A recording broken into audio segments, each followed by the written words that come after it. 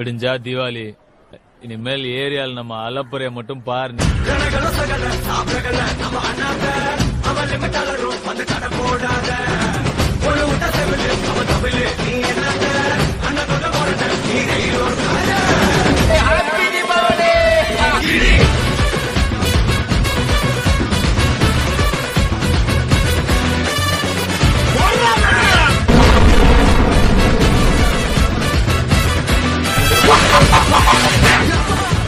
rápido.